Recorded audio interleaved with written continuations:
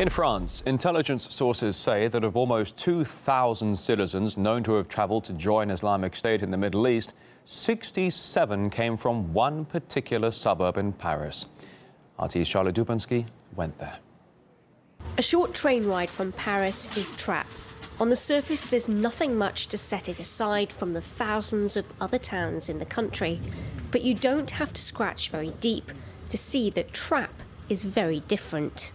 You won't see any non-halal butcher's shops. There are, I think at the moment, over 1,500 prayer rooms and five mosques. If you look at people on the street, you won't see couples holding hands. Uh, you'll see the women are dressed in strict Islamic uh, dress. Uh, there's a lot of homeschooling. So you couldn't really consider Trappes as a, a typical French town anymore. It's a little bit like a state within a state. For decades, it's been considered a magnet for Muslim fundamentalists. Hardline Salafism and Wahhabism are widely practiced, and Trappes has become synonymous with jihadism. Dozens of people left here to join Islamic State. Others have carried out attacks on French soil or have been linked to the Night of Terror in Paris in 2015.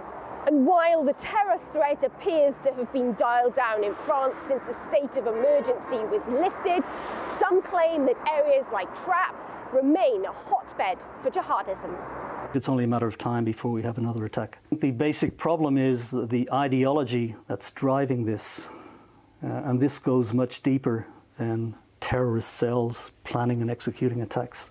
That ideology is so ingrained that last year a poll of French high school students revealed 32% of Muslim students believed Islamic doctrine was superior to scientific fact.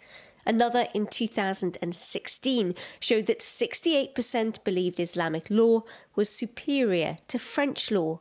There's also concern that in an area like this that was once branded a no-go zone by the authorities, that Sharia is becoming the law of the land.